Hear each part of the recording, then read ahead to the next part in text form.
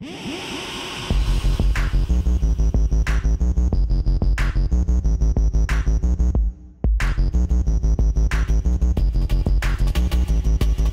excited about showing you uh, some really cool ideas that I came up with with this beautiful uh, gimmick. Not just a gimmick, it really is a utility device. Was that it, really? I want to give you guys this as a souvenir. It's kind of a weird situation, so I'll tell you what we'll do. Let's see if we can do this, watch. Is that better? So hopefully if this worked, you can actually see that it's grown. Which doesn't doesn't make sense to even have the tape on anymore, does it?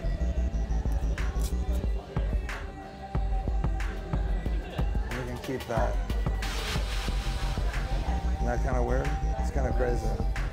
That is pretty cool, isn't it? It's really crazy, but look, check this out. It looks like it's actually, the closer it gets, it looks, it looks like it's restoring, doesn't it? I mean, it looks that way. It's not really happening, obviously. I mean, if it were to really restore, I could just kind of do that and it would actually restore.